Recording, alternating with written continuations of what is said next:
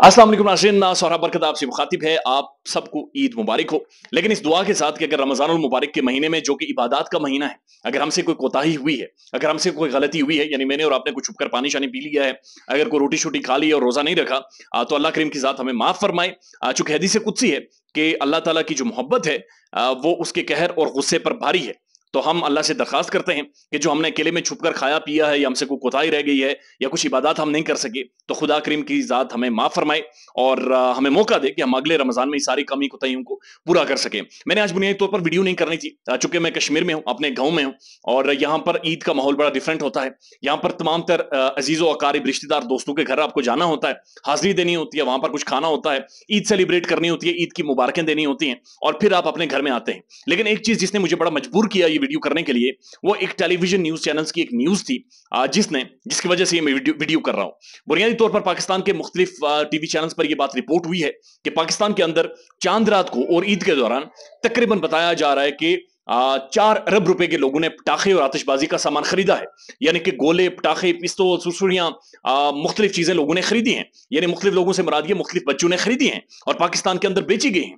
तो इसका मतलब यह हुआ कि उनचास परसेंट अगर इस मुल्क के अंदर महँगाई है तो ये सारी चीज़ें भी महँगी हुई होंगी। यानी सुरसुड़ियाँ पटाखे फायर क्रैकर्स वॉट ये सारी चीज़ें भी महँगी हुई होंगी। लेकिन इसके बावजूद सेल जो है, वो तीन से चार अरब रुपए पर पहुँची है। इससे पहले दो अरब रुपए थी और इस साल ये चीज़ ज़्यादा हुई है। यानी इस साल ज़्यादा लोगों ने पटाखे और सुसुरियाँ खरीदे हैं।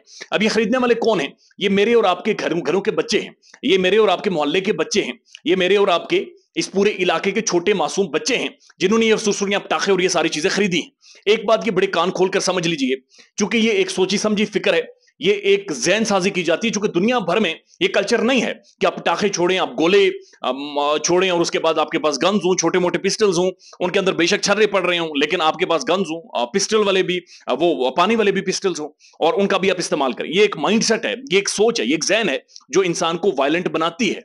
ये एक सोच है जो इंसान को इन धमाकों की तरफ़ इन इन इन पटाखों की तरफ़ इससे लेकर एक वायलेंस की तरफ़ लेकर आती है तशद की तरफ़ लेकर आती है एक सख्ती की तरफ़ लेकर आती है। और जब भी आप किसी बच्चे को खुलने वाला गन देते हैं तो उसके अंदर एक एक फीलिंग डेवलप होती है उस गन की तरफ़। उस दो कि वो एक, एक टॉय होता है खिलौना होता है लेकिन वो असली गन की तरफ़ मायल होता है। एक सोची समझी साजिश के तहत एक प्लानिंग के तहत थर्ड वर्ल्ड कंट्रीज़ के अंदर बेचे जाते हैं। चूँकि आप दुनिया भर में देख लें बरतानिया के अंदर गुजशत दिन ईद हुई यूरोप के मुख्तु ममालिक में ईदें हुई। आप वहाँ का सर्वे सिर्फ़ निकाल लें वहाँ पर किसी ने भी सुरसरियाँ नहीं खरीदी पटाखे नहीं खरीदे किसी ने जाकर गन नहीं खरीदी, किसी ने बंदूकें नहीं खरीदी, किसी ने पिस्टल नहीं खरीदे, किसी ने पानी वाला पिस्टल भी नहीं खरीदा, बल्कि ये सब कुछ गंद, या तो इंडिया में होता है, मुसलमान करते हैं, या पाकिस्तान के अंदर तो लोग पागल हो जाते हैं। और एक ऐसे टाइम में जब उनचास परसेंट इस मुल्क के अंदर महँगाई है, कितने ही लोग हैं जिन्होंने ईद के लिए कपड़े नहीं खरीद सके, जो खाना नहीं ईद के लिए अच्छा पेश कर सके, जो अपने घरों को डेकोर नहीं कर सके, वो तो दूर की बात है।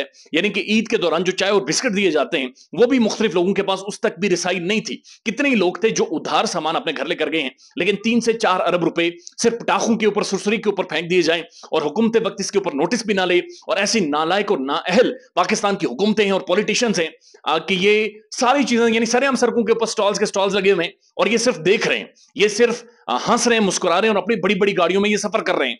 बल्कि इन्हें अक्ल होनी चाहिए इन्हें सोच होनी चाहिए, इन्हें समझ होनी चाहिए कि पाकिस्तान की जो नौजवान नस्ल है, पाकिस्तान की जो माइनर्स हैं, जो छोटे बच्चे हैं, वो किस तरफ़ जा रहे हैं और इनका हाथ किस तरह से रोका जाएगा? लेकिन वो रोकने के बजाय, ज़ाहिर है, एक सोच मौजूद है एक फ़िक्र मौजूद है, एक प्लानिंग मौजूद है, एक थिंक टैंक मौजूद है, और वो बच्चों को इंटेंशनली इस वायलेंस की तरफ़ लाता है। इसलिए आप उठाकर देख लें, दुनिया भर में पाकिस्तान शायद उन माशरों में शुमार होता है, जहाँ पर सबसे ज़्यादा वायलेंस है जो कि मुख्तलिफ़ शक्लों में या शकुल में सामने आता है। एक दफ़ा फिर आप सबको ईद मुबारक हो, बहुत खुश रहें थोड़ा खाइएगा। ताकि आपकी सेहत भी अच्छी रहे। ख्याल रखिएगा अपना। अल्लाह हाफिज़।